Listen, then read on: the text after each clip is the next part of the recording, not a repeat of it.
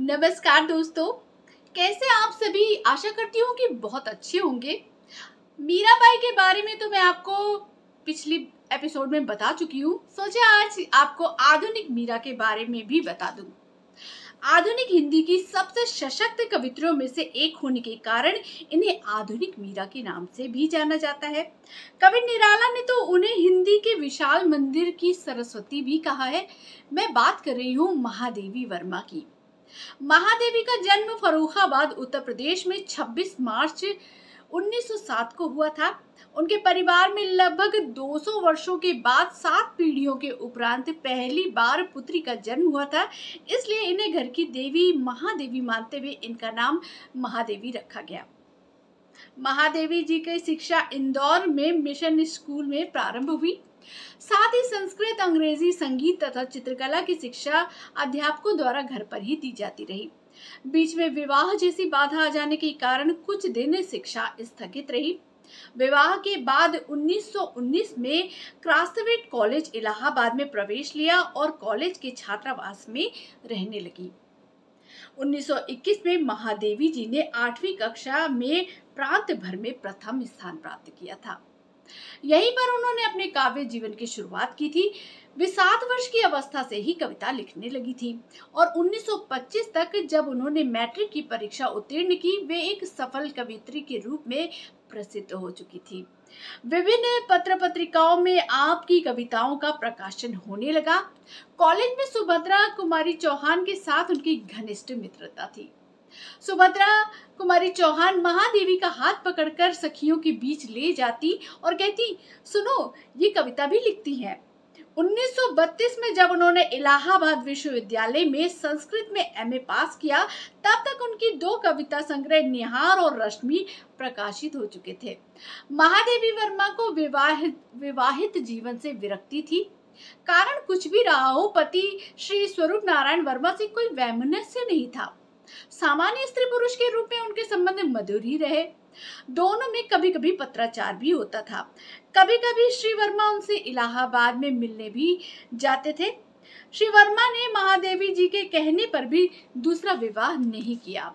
महादेवी जी का जीवन तो एक सन्यासिनी का जीवन था। उन्होंने जीवन भर श्वेत वस्त्र ही पहने। तख्त पर सोई और कभी शीशा नहीं देखा। सन 1966 में पति की मृत्यु के बाद वे स्थायी रूप से इलाहाबाद में रहने लगी। वो भारतीय स्वतंत्रता संग्राम का भी हिस्सा रही। 1936 में नैनीताल में 25 किलोमीटर दूर उमागढ़ नाम के एक गाँव में महादेवी वर्मा ने एक बंगला बनवाया था, जिसका नाम उन्होंने मीरा मंदिर रखा था। जितने दिन भी वो वहाँ रही, उस छोटे से गाँव की शिक्षा और विकास के लिए काम करती रही। कविता कविता ही काम करती रही। विशेष रूप से महिलाओं की शिक्षा और उनकी आर्थिक निर्भरता के लिए उन्होंने बहुत काम किया। आज कल इस बंगले को महादेवी साहित्य संग्रहालय के नाम से जाना जाता है। कभी फुर्सत हो तो जाके देख के आइएगा। श्रृंखला की कड़िया कड़िया में स्त्रियों की मुक्ति और विकास के लिए उन्होंने जिस साहस व दृढ़ता के साथ आवाज़ उठाई और जिस प्रकार सामाजिक रूढ़ियों की निंदा की, उसे उन्हें महिला मुक्तिवादी भी कहा गया। महिलाओं और शिक्षा के विकास के कार्यों और जनसेवा के कारण उन्हें समाज सुधारक भी कहा गया। उनके संपूर्ण गद्य साहित्य में पीड़ा या वेदना के कहीं दर्शन नहीं होते, बल्कि अदम्य रचनात्मक रोष, साहस, समाज में बदलाव की अदम्य आकांक्षा, विकास के प्रति सहज लगाव परिलक्षित होता है। उन्होंने अपने जीवन का अधिकांश समय उत्तर प्रदेश के इलाहाबाद नगर में ही बिताया। उन 11 सितंबर उन्नीस सत्तासी को इलाहाबाद में रात नौ बजकर तीस मिनट पर यह आधुनिक मीरा भी इस संसार को त्याग कर चली गई। कैसा लगा आपको हमारी आधुनिक मीरा महादेवी से मिलकर? आशा करती हूँ कि आपके अंदर भी समाज में कुछ करने की इच्छा जागृत हुई होगी। तो इंतज़ार किस बात का उठिए और कुछ कीजिए। अपने समाज के लिए महादेवी जी की तरह आप भी कोई कदम उठाइए। ज़रूरी नहीं कि आप कोई बहुत बड़ा कदम उठाए, आप एक छोटे कदम से भी शुरुआत कर सकते हैं। महादेवी जी से प्रेरणा लेकर अब मुझे यानी प्रीति शुक्ला को इजाज़त दीजिए और अब्दुल कबीर के पास सीधे चलते हैं और देखते हैं कि वो आज हमें किस उभरते हुए सितारे से मिला रहे हैं। तब तक के लिए मुझे इजाज़त दीजिए। नमस्कार। शुक्रिया प्रीति जी, आपने जिस तरह से महादेवी वर्मा जी के बारे में बताया, वो वाकई काबिल तारीफ़ है। ये सच है कि हर इंसान को समाज सेवा करनी चाहिए। समाज सेवा का मतलब रास्ते का पड़ा हुआ पत्थर उठाकर साइड में रखना भी समाज सेवा है। एक पौधे को लगाना भी समाज सेवा है। आज मैं जिन कवि से आपकी मुलाकात करवाता हूँ दरअसल उनका नाम कमलेश धुरंधर है और वो इस वक्त किसी कवि सम्मेलन में जाने की तैयारी में है। लेकिन क्योंकि मेरे बड़े आग्रह पे उन्होंने अपनी एक दो रचनाएँ हमारे चैनल के लिए सुनाई हैं। तो मैं आपकी मुलाकात करवाता हूँ हास्य व्यंग के कलाकार हास्य व्यंग के कवि कमलेश धुरंधर से। एक रचना प्रस्तुत कर रहा हूँ। लेकिन कभी कभी दिक्कत होती है कि संयोजक बेचारा मेहनत करके पैसा इकट्ठा करता है अच्छा मंच बनाता है। उसके बाद जब दर्शक नहीं आते हैं, तब बड़ी पीड़ा होती है। इस संदर्भ में एक रचना प्रस्तुत कर रहा हूँ, सुनिए। कि इस साल संयोजक का अजीबोपरी निमंत्रण पत्र आया पढ़कर माथा चकराया। उसमें लिखा था, कवि जी, आप कब सम्मेलन में आइए, लेकिन शर्त है अपने साथ कम से कम दस श्रोताओं का अवश्य लाइए।